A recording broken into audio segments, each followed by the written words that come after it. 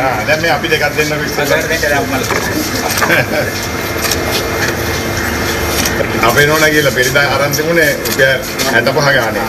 ඒස අපිට හැකියාව ලැබෙන්නේ සාකච්ඡා මාර්ගයෙන් තීන්දුවක් ගන්න එක. මොකද අධිකරණ තීන්දුවකුත් මේ වෙලාවේ තියෙනවා. මේගොල්ල කියන්නේ මේ ගොල්ල රුපියල් 49ට 50ට දෙන එක තමයි ගෙනල්ලා මේ 60ට 70ට විකුණන්නේ කියලා. මේක වැරදිනේ. කඩහිමියෝ සහ මේ ජනතාව නම් කියන්නේ මේ අසාර්ථක වැඩපිළිවෙලක් කියලා. ඒකාධිකාරය බිඳින්න ඕනේ. මේ රුපියල් 70 මම දැක්ක ඔයගොල්ලන්ගේ ටෙලිවිෂන් වල පෙන්වන 74ත් බිත්තර ගහලා තිබුණානේ.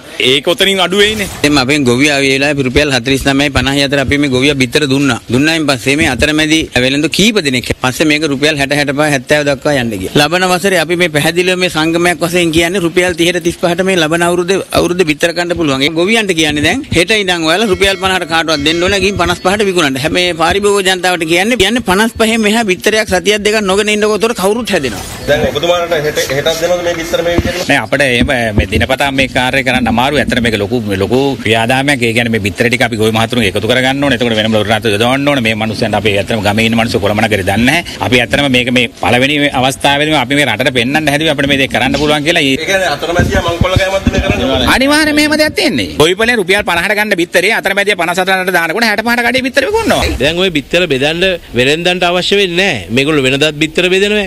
එතකොට අපි ඒ අයටම තේරුණා ඒගොල්ලන් මේ කරපු වැඩේ මේ රටේ ජනතාවට කරපු ද්‍රෝහිකමක් කියලා. ඒ නිසා තමයි ඔය දැන් බිත්තර අරගෙන රට වටේ හන්දි හන්දි ගාන යන්නේ. අද මේ ප්‍රශ්නේ තියෙන ගරු අධිකරණය. ඒ නිසා ගරු අධිකරණයේ තීන්දුවක් ලැබෙනතුරු අපි බලන් ඉන්නවා.